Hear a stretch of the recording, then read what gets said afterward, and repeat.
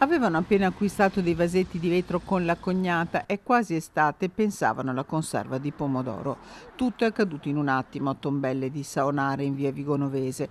Erano le 18. Fiorella Chigliaro, 73 anni, residente nella frazione di Villatora con il marito e i tre figli, stava attraversando la strada quando è stata investita da un'auto, una Iaris condotta da un 64enne di Santa Maria di Sala nel Veneziano che stava uscendo dal parcheggio della chiesa.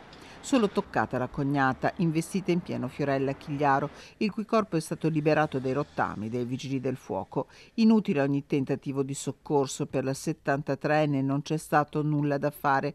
Grande il cordoglio nel comune. Ci dispiace tantissimo per questa famiglia come amministrazione comunale, come sindaco, ma anche come, come comunità di Villatora alla quale la famiglia apparteneva, apparteneva, siamo veramente vicini. Le indagini sull'incidente sono condotte dalla polizia locale che sta esaminando le telecamere presenti lungo via Vigonovese. Un'auto che sopraggiungeva dal centro cittadino si era fermata per lasciar passare le due donne. Forse la visuale del conducente della Iaris è stata coperta. L'uomo, sottoposto ad alcol test, è risultato negativo. Resta il dolore per la perdita di una donna, moglie e madre di famiglia, che probabilmente a quell'ora pensava a tornare a casa il più presto per preparare la cena.